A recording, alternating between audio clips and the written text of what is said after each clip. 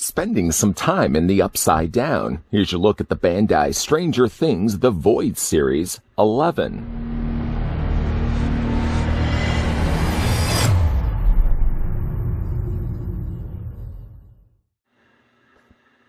Bandai brings one of the most iconic and popular shows Stranger Things to life with these detailed figures that are a love letter to 80s pop culture. Fans and collectors alike can bring home their favorite characters and monsters from the series that captivated audiences and became a global phenomenon. Eleven was kidnapped as a small child and raised in a secret government facility where she was studied for psychokinetic abilities. She escaped and tried to lead a normal life in the small town of Hawkins, Indiana, until her captors caught up to her and pulled her back into a web of danger that threatens her and all those close to her.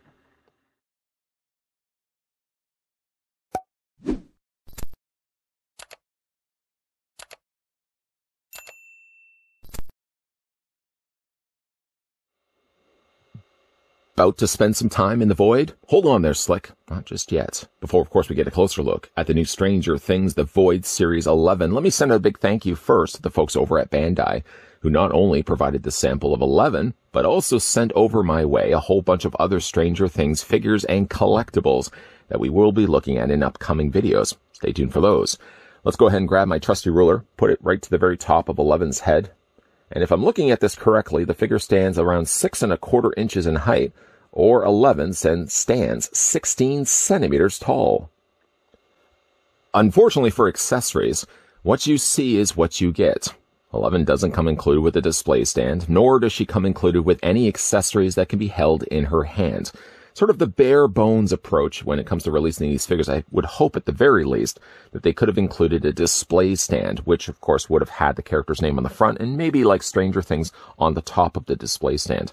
So it's going to make things a lot easier when it comes to looking at the figure because we can kind of skip right over the accessory end of things and jump right into the positive points and some notable negative points that I have when it comes to this figure release.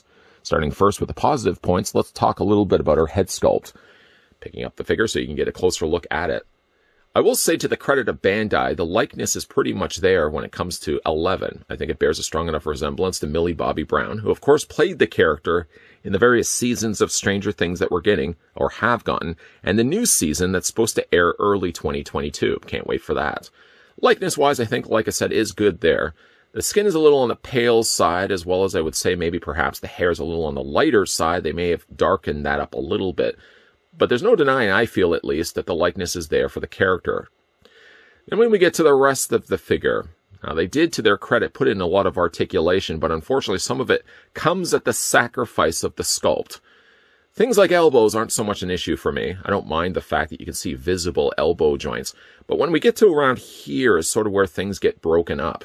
She has these baggy pants already, but in order to incorporate articulation points at the tops of her thighs, Unfortunately, like I said, it comes at the sacrifice of the sculpt, and it really does make her legs look disjointed from the rest of the sculpt. Here isn't so bad, but when it gets to around here, unfortunately, is where it becomes ever more apparent that they had to put in the articulation. I wish there was a way around it. But like I said, look, the head sculpt is pretty good, as well as the tropical shirt that she's wearing is brightly done in yellow. Unfortunately, with the way that they've done the articulation points on the shoulders, it sort of looks like she's got straps on her backpack would have to go back and maybe go back and see that one season to see this shirt that she's wearing. It could probably be the shoulder pads that she has in her shirt, but the way that they're broken up from the rest of the sculpting of the torso, it does sort of look like we're looking at the front of a backpack and the back of it is right here. The coloring is good on the yellow shirt, as well as the pattern work that they put in there as well. She does have suspenders, which you can see sort of go around to the back of the figure, which attach the course, the paint area. Paint's pretty good and clean on this, so I don't really have any issues with the paint other than, again, the skin tone is a little on the lighter side when it comes to her complexion. And again, like, certainly we can talk about the big problem, the big elephant in the room is this area right here. The lower end isn't terrible, in fact. Yes, there's articulation points when it comes to the knees, and there certainly is articulation points when it comes to the feet. The, the shoes are sculpted nicely, even though you can see a big silver pin that goes straight through where the toe area is going to be articulated. And on the bottom of it, she has really nice bright undersoles in orange, kind of an orangey yellow. So I don't really have any issues here. And I don't have real any issues here. It's sort of, it's all right here. That's the big problem. When it comes to the articulation on the figure, she certainly does have it. Like her head rotates all the way around. So there's a ball joint there that allows the head to look up, down, and also back and forth just a little bit. And then there's a secondary ball joint at the base of the neck. Uh, the matching of the paint of the flesh tone is pretty good too in the open area of a shirt. Normally this would be a problem where like the coloring of the plastic wouldn't quite match up to the coloring of the paint, but I think they've done a pretty good job here. Just hold on, there's a fiber right there on the side of her face. I thought I saw something here. Let me just go ahead and pull that off. Um, when it comes to the shoulders, the shoulders equally well come out. You can come out beyond the point of a 90 degree angle bend. In fact, you can almost do jumping jacks with the arms reversed the other way. And you can take the arms and reverse, rotate them all the way around this way too. Again, you have this big sort of ugly socket here in done in black. Again, whether that's supposed to be your shoulder pads, again, it just looks so out of place. I feel like I would have just wanted the coloring the rest of the color to match the coloring of the shirt. Whether again, those are shoulder pads, I'd have to go back and watch that, that series episode again. Um, she does have a swivel that's in the shoulder socket area. You can kind of see the coloring of it right there. So like the sleeve is a separate piece and then the coloring of her skin tone, it matches that of her arms, but you kind of can see inside. It looks like she's got a hole in her sleeve. She does have an elbow bend, which is good. You can bend the elbow not only this way, but you can also rotate the elbow this way as well. She does have the hands that rotate also all the way around and also have a hinge back and forth. When it gets to the top torso area, this is something I've noticed right away taking the figure out of the packaging. She does have a ball joint, which is good, but if you're not careful, this is one thing that does end up happening. Uh, she has two parts to her torso. So it sort of has this floating area right here that divides the top half of her torso to the lower half of her pants. And if you're not careful, too much movement resorts in, in, results, I should say, in having you detach the top of the torso. So while she does have a ball joint, the ball joint isn't the most effective. Any little bit of movement ends up resulting in popping off the top of Ev Eleven's torso. Then, of course, we can talk about her legs, other than the fact that they look very disjointed. At least it translates to a pretty, pretty nice splits on the legs. You can bring actually the legs down, causing gap to form in between the two, and you can actually get a much wider range of a splits. And then you go ahead and just pop these back in. I wish again that they could have made this part a little more seamless. Certainly it does make her a little more thicker in the thigh area, but also doesn't look like it looks like it's part of the same sculpt. I, at least they match the color, but unfortunately again, it looks like the legs are, it almost looks like this is a different figure to the figure that's above it. The legs do come forward and they also come back. She has a double hinge on the knee, which is good. And then when it comes to the articulation in the foot, it moves not only up and down this way, but there also is a nice ankle pivot as well as toe articulation. I'm sort of of two minds when it comes to 11 here. The positive points are good, and when they are good, they are, I think they handled them well. Like the head sculpt is good. Let me just go ahead and just straighten out the arms. There we go.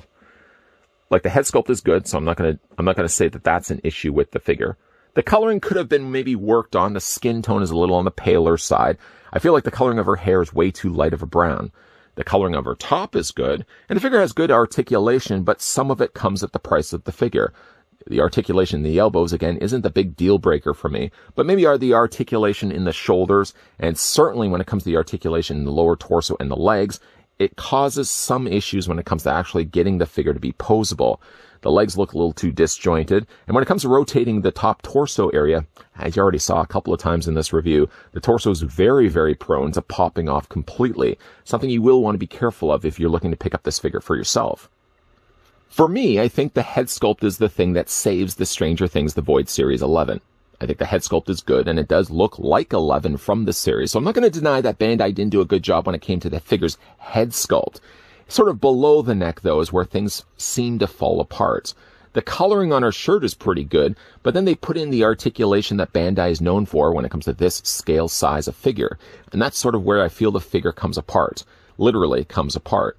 The top torso area is attaching to the lower torso by a ball joint, but then they had to put a dividing piece of plastic in between, and I feel like that's a disrupting point that causes the torso just to pop off at random when you're trying to rotate it. The elbow articulation is there, and it's certainly something that does break the sculpting of the arms up, but that doesn't bother me as much as, say, the articulation in the legs. Very apparently obvious there. You can see that the articulation on the tops of the thighs sort of result in looking like the legs are two separate pieces from the rest of her torso. You don't feel that while looking at it. It's one seamless sculpt. It's fine until you get around to the lower waist area, and then from there, it just slightly falls apart a little bit by having the need to put in the articulation on the tops of the thighs. I have to ask myself if they had found a different way to incorporate the articulation in the thighs while not making it look like the, the legs are separate pieces. Because it does look broken up, especially when you get to the lower half of 11. Top half isn't so bad. The lower half, though, really does sacrifice something by putting in the articulation in the tops of the thighs. What do you guys think of Stranger Things The Void Series 11? Weigh in your thoughts down below in the comments section if this is a figure that you would consider picking up, especially if you're a big fan of Stranger Things. And a big thank you to the folks once again over at Bandai that provided the sample of the Stranger Things The Void Series 11 that we could have a look at in this review. As I said, we are going to be looking at other Stranger Things stuff coming your way, so make sure, of course, you're keeping your peepers peeled to this channel. And if you are, of course, new to this channel, and I would hope to think that you guys are enjoying the content that you're seeing, make sure you hit that subscribe button down below turn on the bell notification so you get those friendly reminders. And once again, a friendly reminder from the chap that's behind the camera. That's me, by the way. There are going to be, yes, more Stranger Things reviews coming your way in the not so distant future. As always, guys, thanks for watching. See you guys next time.